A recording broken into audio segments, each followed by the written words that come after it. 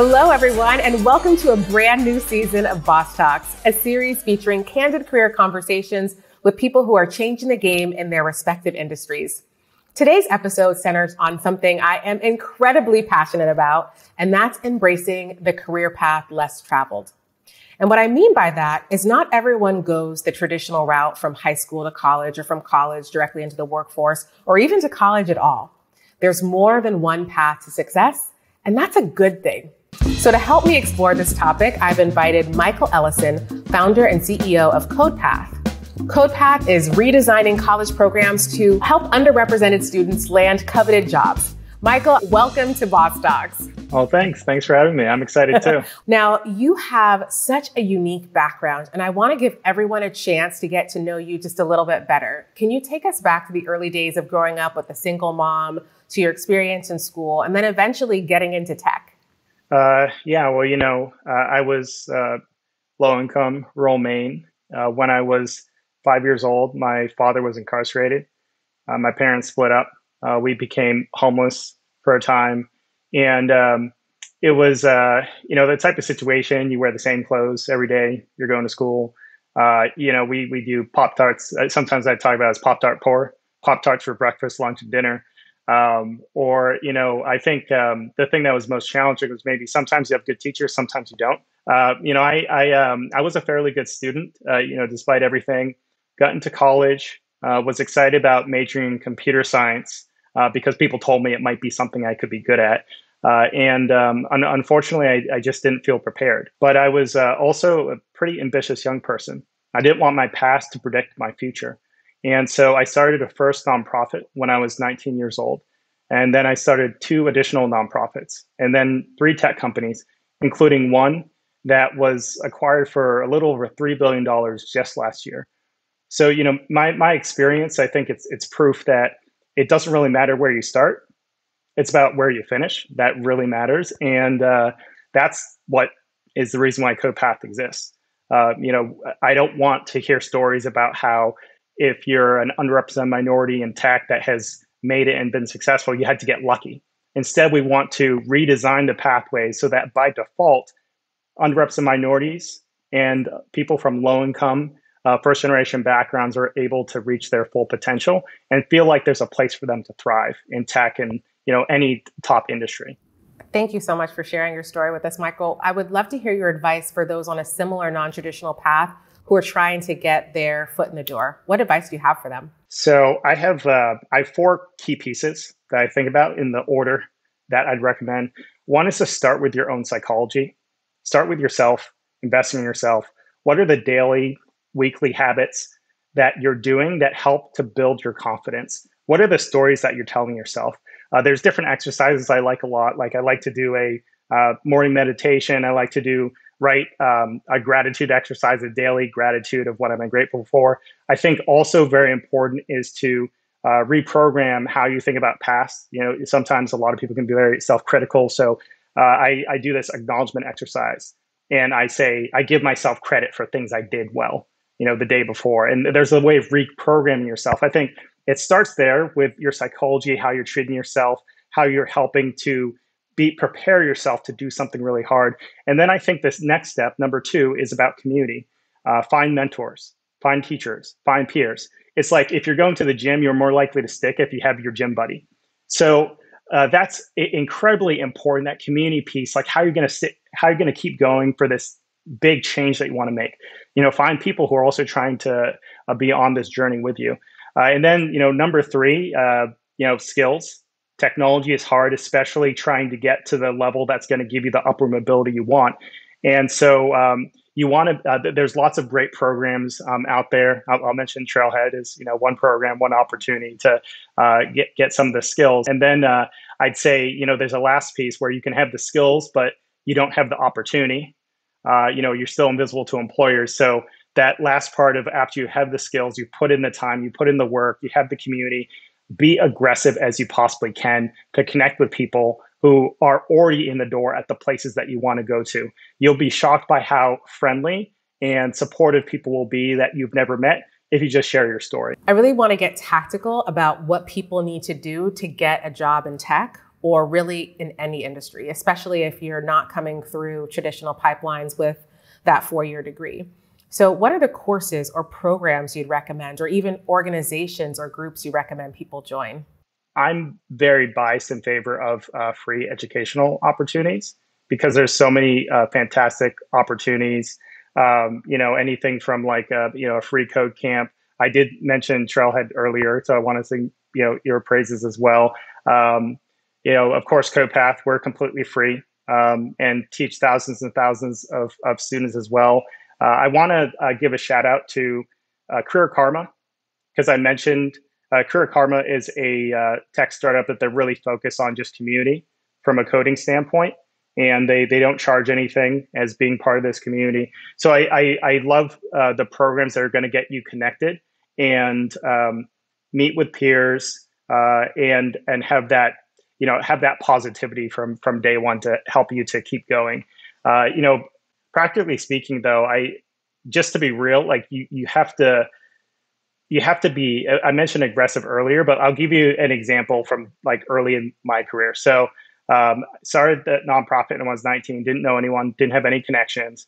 We literally googled how do you raise money? on google. That was that was our plan. That was our strategy. Google that. And then we um, we heard that you know goldman sachs has a lot of money. So we're like all right we're going to call goldman sachs.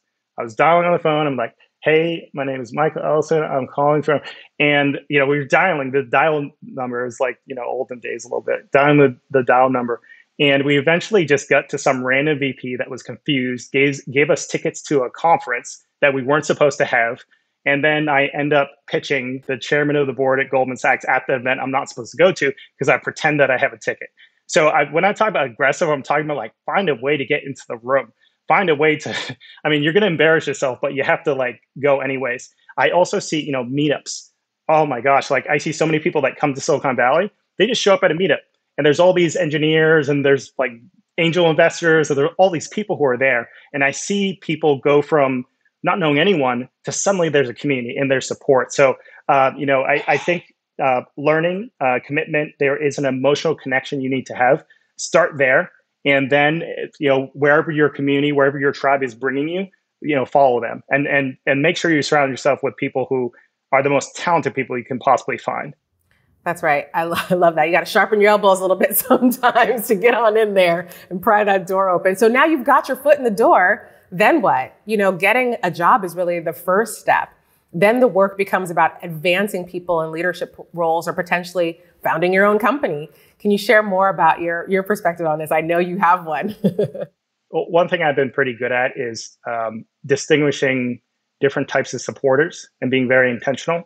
So I think of mentors and sponsors and champions. I think of those three different types. And I think of the people who are my mentors as they're giving me advice, they're giving me the pointers, I'm regularly checking in with them. I think of the people who are the champions who are they're singing my praises. They're they're doing different introductions. And then i think of the sponsors. And these are people who you're you're in your role. They're like hey i'm going to put you here so that you get that promotion. I'm going to you're an entrepreneur. I, i'm the one who's going to give you that deal. I'm like how much? 200 200k recurring contract? Great i'm the one you need to have all three of these and you need to be very intentional you don't need one you need an army of all of them and if you're in an organization or you're starting a startup or whatever, build your army of supporters and don't just think of them in terms of like, you know, uh, I need their advice. I need uh, they're they're my mentor or whatever. Think of them as like uh, we're going to collaborate. Um, I'm going to add value as well with every interaction. This audience knows I have a bone to pick about the pipeline issue in tech. And for those less familiar, I'm referring to the fact that um, Black workers make up only two to six percent of the workforce at a lot of tech companies. But Michael, I love your optimism and how you say that if the pipeline doesn't exist, we simply need to rebuild it. So, what are things we can do to help create it? Uh, what gives me optimism is that I see if companies invest more in rebuilding the pipeline, it seems to be an unfair com- competitive advantage from a talent standpoint. Uh, and what I'm talking about is, um, you know, um, some of the organizations that we've worked with that have invested heavily in early career programs or programs where um, are helping to train based on the technologies that the companies are focused on, uh, they've seen that if they do an effective enough job of designing that end-to-end program, providing the right support in the right way, then now they have this captive audience that is extremely biased in their favor. So, you know, getting people to the level where they'll be able to um, be be talented, be a good fit for your workforce, but then also uh, from a you know, it, it's a competitive war on talent. So being able to compete, but you know, it comes with meeting those individuals part way, give them an opportunity to be able to prove that they are as exceptional as they are and you know people will surprise That's you. right. And that grit and determination is what so many companies are looking for in their ideal worker. So it's it's really a win-win for both when we can make that happen. I want to zoom out and talk about the impact on a bigger scale. How does welcoming untapped talent help companies and our broader society begin to address deeper systemic issues of racial equality and inclusion. And I understand this is like a really big topic, so we might even need a part two to this. But what are your thoughts on it? Uh, I actually, I, I think this is like a really clear cut. I, I think uh, in a way, I, you know, uh, when I think of racial equity, I think a company's talking about racial equity. Then there's one question I'm like, are you creating pathways to power influence? for marginalized communities. Are you are you doing that? Are you creating those pathways? Because if inside of your company you're creating these pathways for up mobility, uh, if you're creating the inroads into your company, then the way that you're going to change the culture and the way that you're going to change uh, it to be a more inclusive workspace is by having these people from underrepresented communities and disadvantaged backgrounds have the pathway to be in the decision making seat you know, from the board, you know, to different executive team to whatever. These pathways are critical. And so I would I would say, you know, letting in this untapped talent is the recipe for you changing the leadership and the dynamics and for middle management and, and whatnot. And the better an organization is at doing this, the faster they're going to transform things. They're going to transform what the status quo looks like. So I'm completely all about um, this untapped talent is going to be your tool and your opportunity to change your culture from within. Michael, I get this question a lot from friends and family and on my LinkedIn where people just they want to be in tech, they want to start coding and they just don't know where to start or if it's even too late. Do you ever think it's too late to pursue a new path or to get started in in tech? No way. The tech industry reinvents itself like every five years. Every time you hear a new buzzword, a new technology, you hear about blockchain, you hear about what like what Mark Zuckerberg said something about the metaverse recently. Metaverse. Every time you hear a new buzzword, that means that there's a new opportunity for uh, learning uh, skills. Quickly go out of date in, in tech, which is a bad thing, but it's a great opportunity for those that are brand new because it means a new technology comes along and you just dive into that and then you can start to become part of that in group that illuminati those people who actually know what they're talking about and what they're doing. So it's definitely not too old and especially want to impress that there is a world of different opportunities there's a you know i'm uh, i'm more artistic I'm, i really care about um, if you look at the impact tech has had on culture on movies on music there are so many different areas that you could be very excited about that you might not even know exist. You might be like, oh, I'm not a coder, it's this one thing. No, no, no. There's so many different types of programmers out there. So um, I, I, think anyone could find an area that they would probably at least be a little bit excited about. I know our Boss Talks audience is going to love that. I know there are probably some people out there going, ah, oh, thank goodness it's not too late. And I just love your your optimism about it. And I think it's real. You know, there, there's so many opportunities available. So Michael, we've been talking a lot about tech today. Do you think the same ideas apply to all industries? Uh, 100%. 100%. The way things happen, I'm thinking about my my second startup company where I was actually still pretty young. I was still in, in school and it's um I was trying to figure out what to do. I didn't know what I wanted to do. Uh, I was just like, I need to do something. I, I did this nonprofit. What's going to be this thing which somehow gives me a way to have the, the leg up or to, to stand out or to, to get ahead or what, what can I do? And um, I actually found somebody, my, my brother was following on Twitter, uh, who was really interesting. He had um, been uh, head of corporate social responsibility for Nike. He started MTV's pro social programming, won multiple Emmy Awards, was head of talent for the Obama campaign. There's all this stuff. I was like, oh my gosh, this is amazing. The intersection of all these things. And um, so I reached out to him on Twitter. Um, it was kind of annoying. And, and then he eventually was like, yeah, sure, I'll meet with you. I'm, you know, I'm heading to Boston um, and we can grab dinner or something. And so I met with him. I'm like, this is my shot. And so we had dinner and I pitched him like, and he's like, he's like, cute, cute experience with your nonprofit. Like, sounds great. Look, um, I don't need you. I don't even know what you would do. You don't have any skills. I mean, you're kind of early in your career. And he kind of left it at that. He was like, okay, I'm going back to New York. He goes back to New York. And then for the next month, I just start working for him without his permission.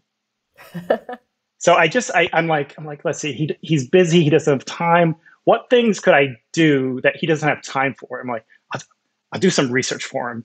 Uh, hey, I, I think I heard he was meeting with this company. I'll just kind of anticipate something that he might need to be done.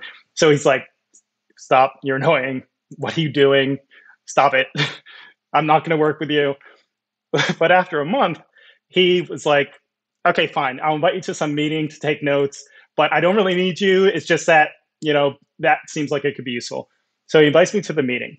And in the meeting, there's uh, this is the, the tech intersection. There's a bunch of developers that are um, on the call. They hired at this design firm, and um, I just ended up like taking notes and organizing things. And then he kind of realized that he hated to do something that I actually like to do, and that gave me my in. And then after a couple more weeks of working with him, he's like, "Okay, you're kind of valuable. Move to New York. You can be my partner." And um, and then kind of the rest was history. But all of that was a non-technical thing. That was just like, how do I figure out how to add value and how do I get my foot in the door? So, you know, I, I think it, the the hustle, the intentionality, um, the figuring out where you can leverage what you already can do is extremely important. I, I could not agree more. I tell um, the folks I mentor all the times, like find the gaps, find the thing that your boss doesn't want to do. You will always have a job if you be figure useful. out what those things are. Be useful and get yeah. in there. I think that's such great advice. Thanks yeah. for sharing that story. So my final question, and this is my favorite question because we ask it of all of our guests. Michael, what is your superpower? yeah, yeah. So, um, you know, I, I, think I think I'm I just uh, I'm very authentic. Like it's hard for me to uh, not just be myself, my personality, my this my passion, and I think that leads to trust uh, with lots of different parties, and and trust I think is one of the most important things that you can have or you can be good at that, that you can leverage. Uh, say you have a big idea and the right people trust you. I mean, you can literally just change the world. What's the difference between raising $5,000 or raising $5 million? It's those people trusting you. You know, what about someone influential lending their name to your cause? Game changing, but they have to trust you. They have to be like, okay, well, that's like, I will do that for you. Um, or even, you know, uh, you know, nowadays, talking with billion dollar companies to try to convince them to do something they haven't done in the past well, if they trust us, they're like, yeah, it's a crazy thing, but yeah, I, I, I think you can do it. Then it's you can just move mountains. So I, I think of uh, that authenticity as the core, and then uh, resulting in trust, like over the long term. You know, hey, we're going to be there next year. We're going to be there the year after. Uh, look at where we were. Look at where we're going. Uh, I think that I consider that my superpower. Yeah, you definitely nailed that one. Michael, thank you so much for being so open and authentic about your personal experience and then the experiences of your students. It's really delightful to hear. The path to success is not always linear, and I know this helps all of us understand and really appreciate that. So, thank you for joining us today. Oh, thank you. I know this is a popular topic with all of you, so let's hear your questions. It's my understanding that you need one internship, often multiple internships actually, to break into the professional world. Is that the case? Hi, Max. Great question. I am a huge fan of internships and apprenticeships. And as a hiring manager, I can tell you that seeing an internship on a resume is so valuable. It lets me know that you spent time in a corporate environment, time developing what I like to call workplace survival skills. Skills like communicating with colleagues and executives, networking, critical thinking, or just keeping up in a fast paced environment. These skills are so important. Now, can you break into the professional world without an internship? Yes, absolutely. But having that experience is not only beneficial to the hiring manager, it's also helpful to the intern. Nothing helps validate your skills or makes you feel confident in your career path of choice like real world experience. So if you can get it, take it. I hope you all enjoyed today's conversation. For more Boss Talks, be sure to check back here on Salesforce Plus so you never miss an episode. And to continue boss building, head on over to trailblazer.salesforce.com to join millions of trailblazers who are learning relevant skills and giving back with the Trailblazer community. With that, thank you for tuning in to Boss Talks and see you all next time.